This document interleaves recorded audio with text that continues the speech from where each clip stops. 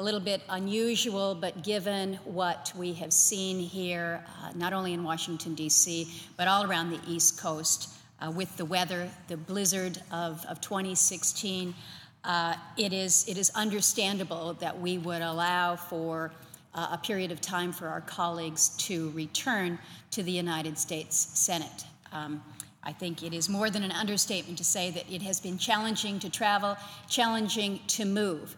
I think it is worth noting, however, that the presiding officer, the senator from Maine, and myself, the senator from Alaska, both kind of the bookends of the, of the country, uh, Arctic states, if you will, certainly Alaska is, and, and Maine is right up there, um, are here braving the elements.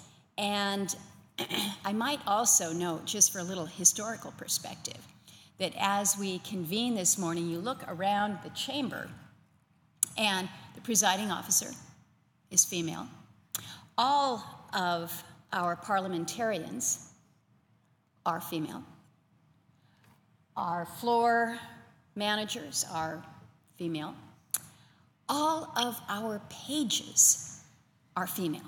Now, this was not orchestrated in any way, shape, or form. We came in this morning, looked around, and thought something is different this morning. Different in a good way, I might add. But something is, is genuinely different, and I think it's genuinely fabulous.